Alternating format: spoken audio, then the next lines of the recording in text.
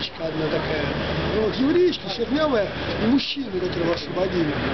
Мужчина. Ну вот вы рекламировали либерализм. Теперь мы не можем это установить. Мужчину-то освободили. Какого мужчину? Ну, который